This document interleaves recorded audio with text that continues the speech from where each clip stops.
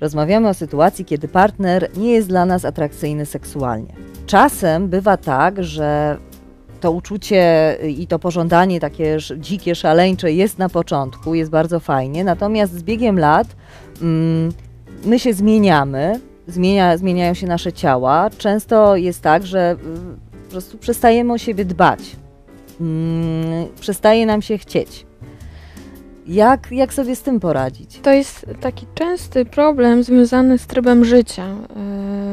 Osoby, które są w stałych związkach, w związkach także małżeńskich, po jakimś czasie wpadają e, w rutynę i nie znajdują e, wolnego czasu na to, żeby uprawiać sport, przestają się zdrowo odżywiać e, i wracając do domu przeważnie widzimy partnera siedzącego przed telewizorem zarówno kobietę czy mężczyznę, tak jakby to dotyczy obu płci często. E, I po pierwsze, wtedy mm, sami czujemy się mniej atrakcyjni, więc mamy mniej odwagi, żeby inicjować seks. Po drugie, to mm, e, osoba, z którą jesteśmy, no też e, przestaje gdzieś tam sprawiać przyjemność swoim widokiem. E, I mm, myślę, że warto, żeby związki, pary dbały o taki e, aktywny tryb życia przede wszystkim.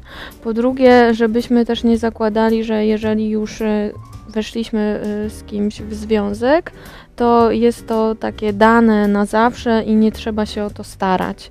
Dlatego, że mm, żeby utrzymać bliskość, pożądanie, to musimy w to wkładać regularny wysiłek. Oczywiście nie dotyczy to jakichś krótkich relacji, ale e, jeżeli jest to e, perspektywa spędzenia ze sobą 20, 30 czy więcej lat, e, to oczywiście trzeba o to dbać systematycznie.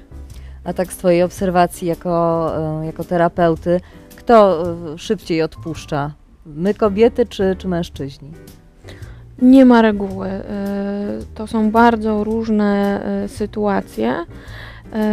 Jest taki stereotyp, że kobiety bardziej dbają o swoją atrakcyjność, ale to nie zawsze działa w ten sposób. Aniu, bardzo dziękuję za rozmowę. Dziękuję. A Was, drodzy widzowie, zapraszam do korzystania z naszego maila kontaktowego dobryseksmałpaagora.pl. Piszcie do nas, jeśli macie pytanie do eksperta, a może jakiś problem czy temat, który chcielibyście, żeby pojawił się w tym programie. Dzięki serdeczne i do zobaczenia.